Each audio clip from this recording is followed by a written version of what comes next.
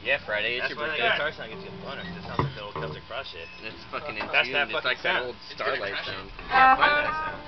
It sounds like a, uh, like a, like like a a good metal pedal right All right. What is it? Anything before pandemonium, pretty much. Yeah.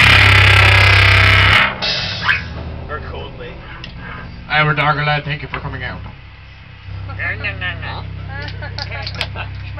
This might be our last show ever. Yeah, you said that last two shows. Yeah, exactly. It makes you want to come back, doesn't it? Yeah.